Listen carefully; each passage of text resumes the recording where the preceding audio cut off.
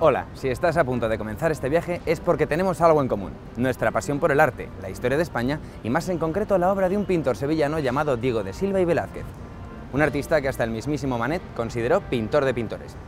Diego Velázquez es el artista más representativo de todos los que se encuentran presentes en este edificio y que imagino que más de uno os sonará, el Museo del Prado.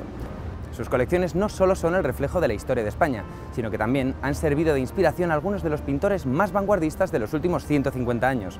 Y por todo esto también tendrá un papel protagonista en este apasionante viaje que ahora mismo comenzamos.